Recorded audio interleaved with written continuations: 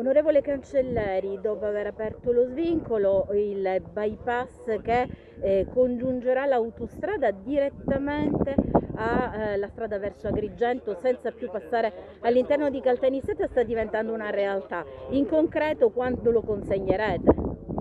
Il 24 di questo mese apriremo questa bretella di bypass stiamo definendo gli ultimi dettagli per eh, eh, stabilire anche l'orario di apertura. È un altro risultato molto importante insieme a quella che è l'apertura dello svincolo di stamattina che regolarizza tutto il traffico per andare anche verso l'innesto con la 19. È un altro risultato importante perché? perché avanziamo ancora di più sui lavori. Io lo ricordo sempre, settembre 2019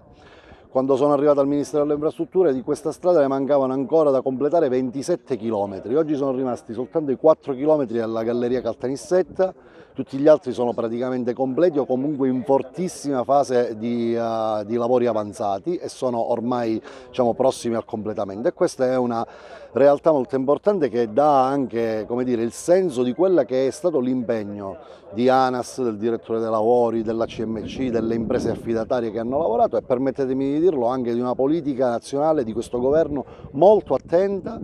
che da Pungolo ha fatto insieme con l'amministrazione comunale per riuscire a far arrivare questi risultati sul nostro territorio. Io spero che dal 24 finalmente normalizzeremo quella che è la percorrenza anche per Caltanissetta, ma non solo, soprattutto per la provincia di Agrigento e finalmente cominciamo a mettere mano